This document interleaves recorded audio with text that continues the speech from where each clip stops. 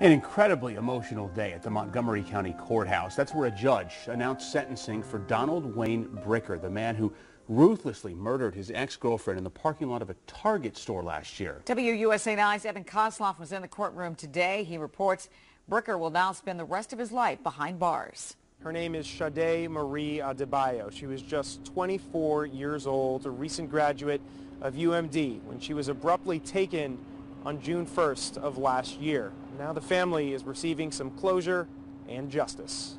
The love that you have nourished somebody for 24 years, it never goes away. The words of a grieving mother.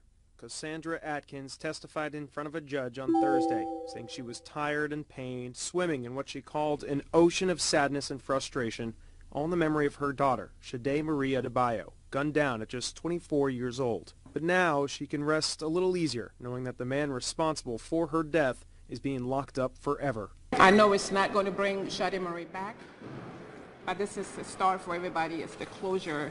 The killer's name was Donald Bricker Jr. He was Sade's ex-boyfriend, and on a rainy June day in 2015, he convinced her to meet him at a crowded Target parking lot in Germantown.